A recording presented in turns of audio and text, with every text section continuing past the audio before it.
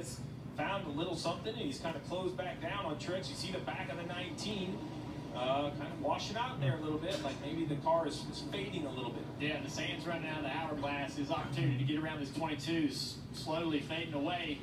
And while the 22 sort of stalled out here in front of the 19 and 5 of Larson running some of the quicker laps well, on all the top two cars. I'm sorry. And then also there's, you know, William Byron. Now he's starting to run Truex down to, to pass him to make himself the first car lap down. So he's he's got a ton of pressure on him right now, Truex does. Dave. And Jeff, remember how William Byron got where the position, position that he's in. The last run was so bad, lost all that time, all that track position. That's why he didn't remain on the lead lap. This run, better.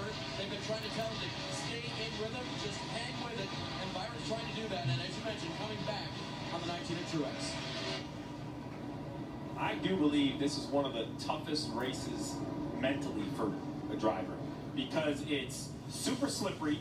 You feel like you're going really slow because you just you think you should be able to go way harder. And there's this chaos of green flag pit stops and who am I racing? And it's just there's a lot going on for a driver to three-quarter mile. Normally the short track, you settle in, you get in a rhythm, you're just trying to run great laps. And we heard Denny Hamlin in the pre-race. I love